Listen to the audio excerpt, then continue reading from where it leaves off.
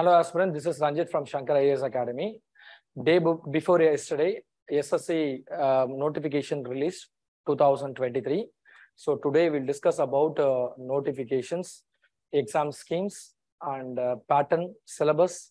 Then after that, age criteria, educational qualification. We'll discuss about everything. Right. So date for submission of online application: 3 4 2023 to 3 5 2023 like uh, 3rd April to 3rd May. So one month of time has given. Last date and time for receipt of online application 3 5 2023. Then making online fee payment 4 5 2023. So offline fee, fee, fee payment 5 5 2023. So the last date, uh, date of uh, window for application form corrections.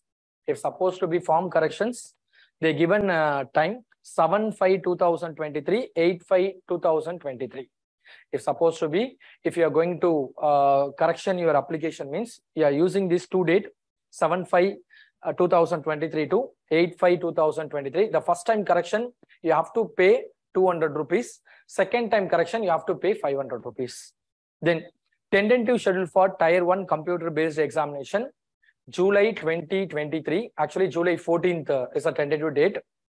Then next one, tier 2 to be notified later, right? So these are the date as given. Then next one, detail of post. What are the posts uh, they are going to be uh, filled? So group B and group C post uh, they are going to be filled. Around uh, 36 posts, uh, 36 department, different posts they are going to be filled along with the 7,500 vacancies. So vacancies is also declared 7,500 vacancy. Maybe it, it might be increases. So tentatively given, so for 7,500 vacancy, they are going to be filled group B and group C category. So the topmost post is nothing but assistant audit officer and assistant account officer. These two are the topmost posts because this is a gazette officer post, group B category. So actually age limit has given 18 to 30. So the minimum age 18, maximum age 30. So adding plus three years for OBC, plus five years for uh, SCST, right? So plus five years for SCST, plus three years for OBC. So here assistant sectional officer, then this is also group B post. Actually the topmost is two assistant audit officer and assistant account officer. So the rest of the uh, thing is assistant sectional officer, ASO, like uh, secretariat, uh, secretariat service, intelligence bureau, ministry of railway, ministry of external affairs, then headquarters, ministry of electronic and information technology. These are the posts as given, group B category. Then uh, minimum age same 18 to 30 and some posts like central secretariat service 20 to 30 is minimum to maximum age. Age criteria is also given. So at the same time, age criteria is differ from some other post. So like uh, assistant officer, assistant sectional officer.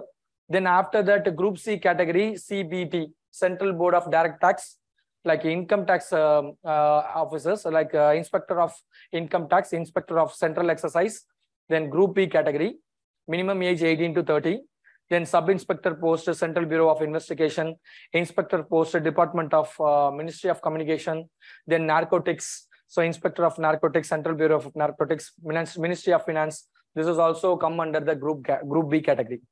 Then after that uh, uh, like uh, research assistant executive assistant divisional account.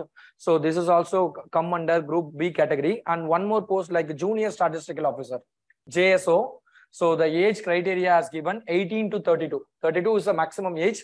So here you are adding with 3 for obc adding with 5 for scst right? So scst category.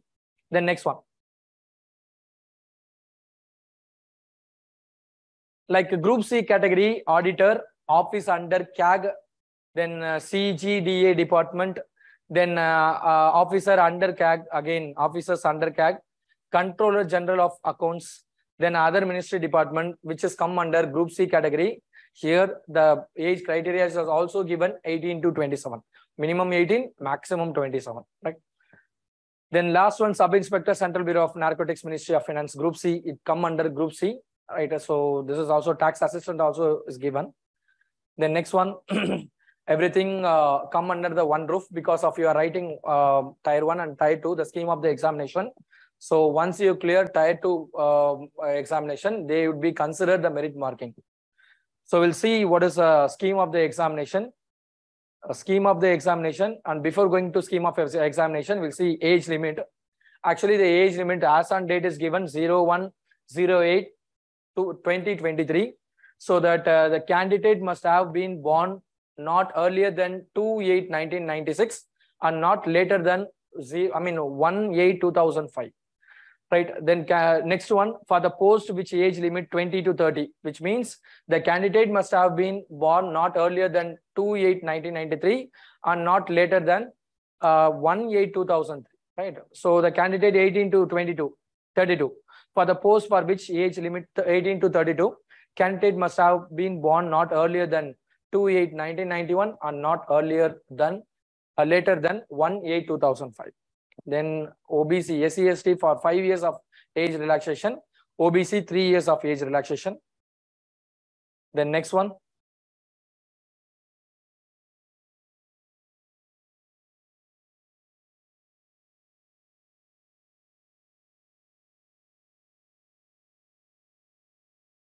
Actually, uh, so the OBC certificate, they given, uh, you have to getting OBC certificate before writing examination data is also given. Then this is the essential qualification.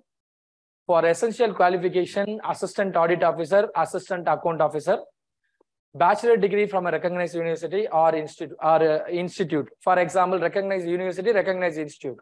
So bachelor degree for any stream, right? Whether it is a BA category or BSc, then uh, science stream or arts stream or engineering stream, whatever it is, you are uh, you are for eligible for audit uh, assistant audit officer or uh, assistant account officer. Actually desirable qualification is also given. It's only for the desirable. It, it is not essential. It is only for the desirable.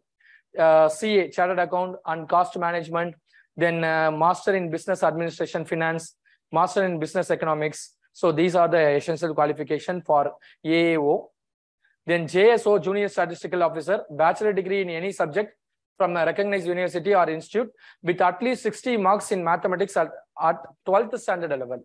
So if you are getting uh, 60 percentage mark 12th standard level, you are eligible for JSO or bachelor degree in any stream with the subject of statistics, one of the subject.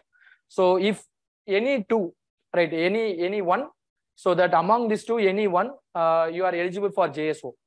Statistical in, investigator grade two, bachelor degree in any subject with uh, statistics, uh, statistics as one of the subject from a recognized university in the city. This is also the uh, qualification and research assistant in National Human uh, Human Rights Commission.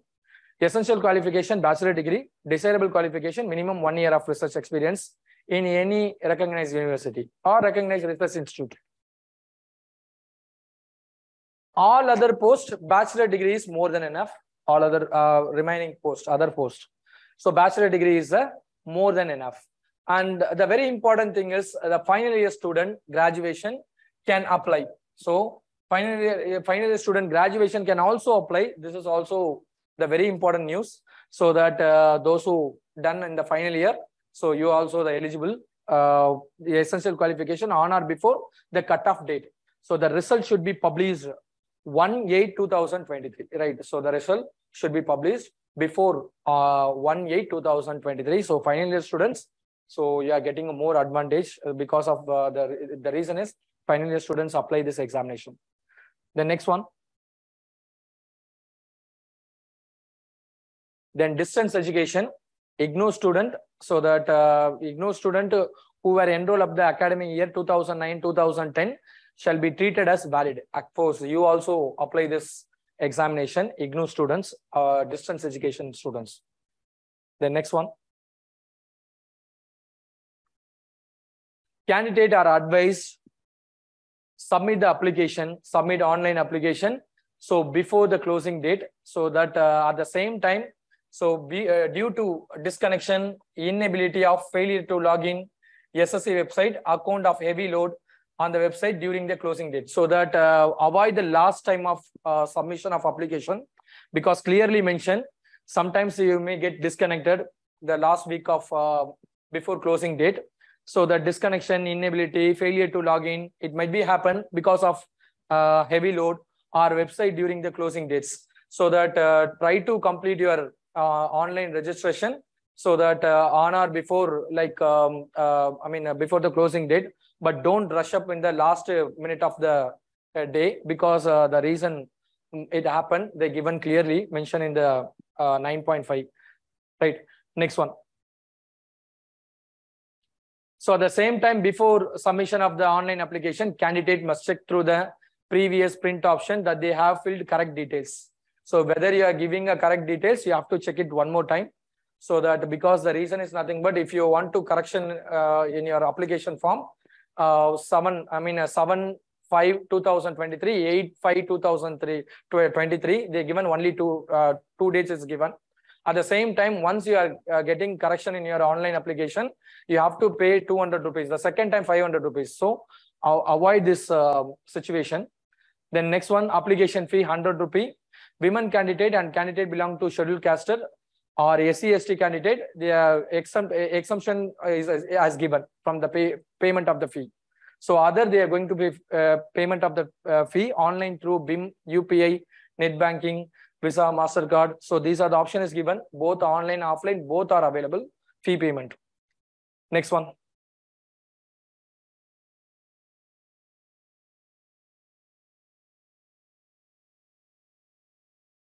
Examination centers so that um, uh, here the examination center is also given so that you have to check the examination centers. And southern region, we have a lot of opportunities there because Andhra Pradesh, Pondicherry, Tamil Nadu, Telangana. So that um, you have to check it one more time in the center of examination. Then next one, schemes of examination, tier one and tier two. So tier one mark, it's only for qualification. Tier two, they consider only for the merit ranking, right? So that uh, let's see what are what is uh, schemes of tier one examination. Here they are going to be tested four session. The first session is nothing but general intelligence and reasoning, 25 question, 25 marks. Then general awareness, 25 questions, 50 marks. Uh, actually, general intelligence, 25 question, 50 marks. General awareness, 25 question, 50 marks. Quantitative aptitude, 25 question, 50 marks. English comprehension, 25 question, 50 marks. Each question, they given two marks and uh, we have a penalty mark also. So 0.50 is a penalty mark, right? 0.50 is a penalty mark and everything should be objective type of questions, multiple choice of question. They given one hour time allotted. Uh, apart from that, one hour and 20 minutes for the candidate eligible for scribe. So that uh, these are the time. So this is only for qualification nature. So once you are qualified, you will be, um, I mean, you'll be writing for second level, like a scheme tier 2 examination. So you are eligible for tier 2. Then tier 2, we have a session 1 and session 2, paper 1 and paper 2. So session 1 is nothing but module 1 mathematics ability, 30 question. But here, each question they given 3 marks. So that uh, if each question giving 3 marks means 30 into 3 times, then reasoning, uh, general intelligence, 30 questions, each question 3 marks. So total 180 questions, 180 marks. Total 60 question, 180 marks because each question they given three marks, right? Here one hour uh, of uh, duration of time. Then after that, uh, second session two, English language and comprehension, general awareness. English language 45 questions, general awareness 25 question. Here also each question given three marks. So that's 70 into 3, 210 marks.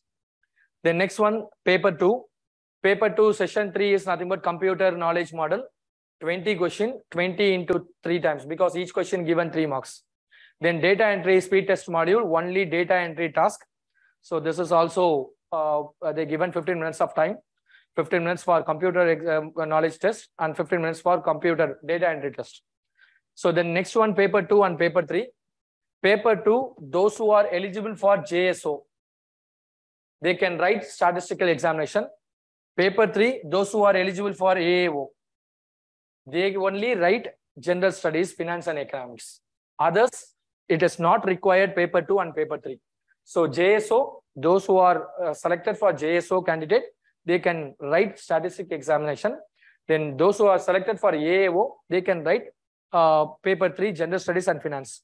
So the rest, uh, apart from uh, the candidate, they can write paper one also, right? Not required paper two and paper three. right? So general, paper two, paper three, it's not required. Then next one, so these are the syllabus is given. Actually, the syllabus uh, here, uh, the given syllabus, both uh, tier one and tier two. So quantitative aptitude, general awareness, then after that tier one, general intelligence and reasoning. So these are the syllabus as given. Even uh, gender studies, finance and economics part, stats part, everything should be given.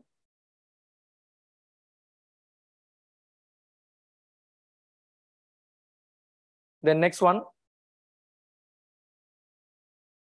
So that um,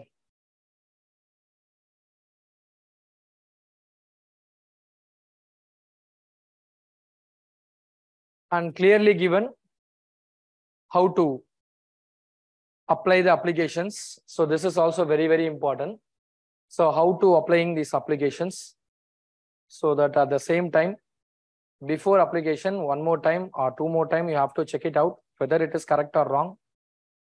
Then here clearly given how to apply the application. So application detail is given so that before going to fill the application, you have to read one more time.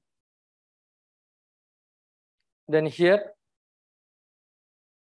so that uh, recent scan color photo, uh, passport size photos, so that it is not more than the three month old.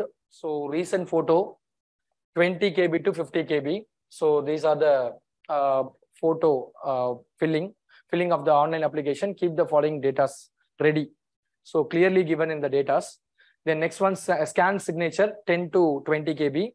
Then after that, on the next one, on the passing passing years, roll number, percentage GPCA. So you have to detail of qualification, education uh, qualification given.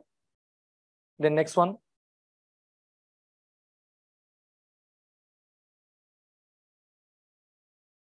So these are the very important. Then your photo, a specimen, a specimen photograph is given like this. So don't wear a cap. So too close, extra color. So that uh, don't do this because uh, it is not accepted. Maybe your uh, application, it, it might be rejected. So avoid this uh, photos. So don't wear specs, glasses like that. So these are the application as given. So the last year, there is nothing changed. So everything should be same so that um, all the best to all the students. Thank you.